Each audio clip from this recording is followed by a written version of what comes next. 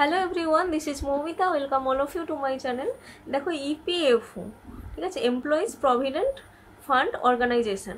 এটাকার ministry of labour and employment government of ইন্ডিয়ার আন্ডারে তার হচ্ছে personal assistant recruitment two thousand twenty four তার তরফ থেকে বেশ অনেকগুলো ভ্যাকেন্সি রিলিজ হয়েছে পার্সোনাল অ্যাসিস্ট্যান্টের ভ্যাকেন্সি তোমার আমি চলো এক এক করে তাহলে তোমাদের সাথে এইটা নিয়ে শেয়ার করি কি এজ কী লাগবে এডুকেশনাল কোয়ালিফিকেশান কী লাগবে বা আর যা যা ক্রাইটেরিয়া রয়েছে। ফার্স্টেই বলি group B vacancy male female সবাই অ্যাপ্লাই করতে পারবে। অল ইন্ডিয়া থেকে, ঠিক আছে? এরকম কিছু নয় যে কোনো পার্টিকুলার স্টেটে অল ইন্ডিয়া ভ্যাকেন্সি আর ইপিএফওটা তোমার হচ্ছে এইবার মানে এই বছর এটার পরীক্ষাটা নেবে কিন্তু তোমার union public service commission UPSC তোমার পরীক্ষাটা নেবে, ঠিক আছে?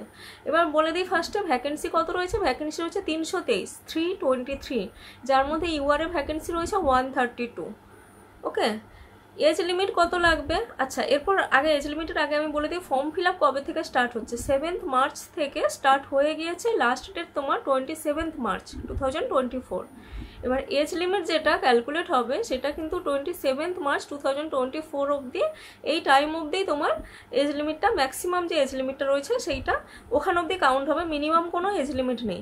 ম্যাক্সিমাম এজ লিমিট তোমার হতে হবে ইউআরের জন্যে থার্টি আর বাকিদের জন্য যাদের যেরকম রিল্যাক্সেশন আছে পাঁচ বছর, তিন বছর, সেগুলো তোমার অ্যাপ্লিকেবল আছে। তাহলে থার্টি হচ্ছে আপার এজ লিমিট এবার আসি এডুকেশনাল কোয়ালিফিকেশান কী লাগবে? না, তোমাদেরকে গ্র্যাজুয়েট হতে হবে। ঠিক আছে? গ্র্যাজুয়েশনে যেহেতু গ্রুপ বি পোস্ট তো গ্র্যাজুয়েট হতে হবে। এরপর আসছি তোমার ভ্যাকেন্সিও হলো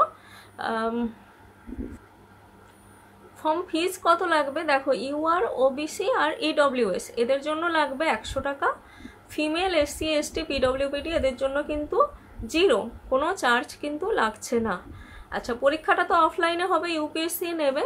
এবার ইউপিএসসি নেবে বলে ভয় পেয়ে যেও না ইউপিএসসি যে অন্যান্য মানে বিশাল যে টাফ হবে, সেরকম কিন্তু ব্যাপারটা নয়। খুব বিশাল টাফ হবে না। তো তোমরা যাদের যাদের ক্রাইটেরিয়া ম্যাচ করছে, আমি সব কিছু বলে দিলাম। এখন ফর্ম ফিল শুরু হয়ে গেছে এজ লিমিট কি এডুকেশনাল কোয়ালিফিকেশান কি? তো তোমরা এই জিনিসটাকে ফর্মটা কিন্তু তাহলে তোমরা ফিল করে ফেলো।